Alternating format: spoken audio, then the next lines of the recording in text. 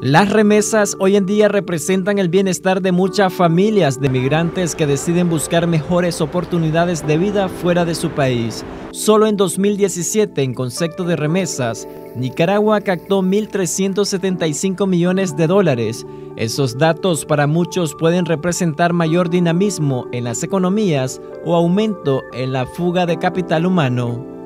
En términos del desarrollo, significa que las personas más capaces, más aguerridas, más talentosas se van del país a buscar otras oportunidades y se vuelven una mano de obra para el desarrollo de esos países en contraproducción a el desarrollo de Nicaragua. Sin embargo, las remesas familiares significan el 10.2% del Producto Interno Bruto, o sea, es más importante la fuente de las divisas que, se generan al país por la vía de remesas familiares que la misma producción de café, de oro, de carne. Entonces es una contradicción que de alguna manera nuestra exportación de seres humanos a, a otros países es lo que genera más recursos para este país. Pues. Algunas economías que nos envían, digamos, remesas están reactivándose. Eh, por ejemplo, el caso de Costa Rica, el caso de Panamá que ha dinamizado mucho, algunos países centroamericanos y Estados Unidos hasta antes, en este caso del peligro latente de la NICAC y la otra ley que de una u otra manera puede en el futuro, digamos, disminuir la reserva. Para el país representa en promedio el 10% del Producto Interno Bruto.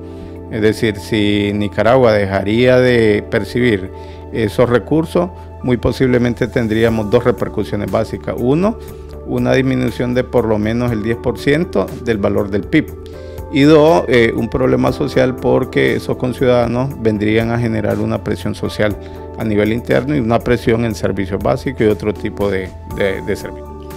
Las proyecciones para Nicaragua continúan siendo por quinto año consecutivo alentador. El Fondo Monetario Internacional informó que el país será el tercero de la región con mayor crecimiento económico, sin embargo las condiciones para trabajar son facilitadas para el inversionista extranjero.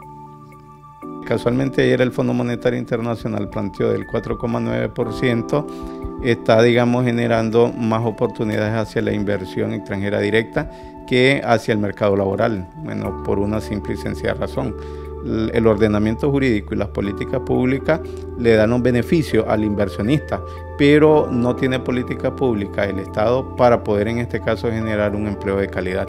Entonces Nicaragua va a seguir siendo, digamos, un país expulsor de maniobra y eh, atrayente de eh, inversión extranjera directa.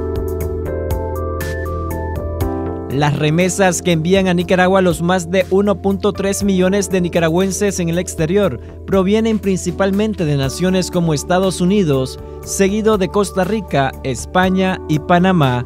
Jimmy Romero, Voz TV.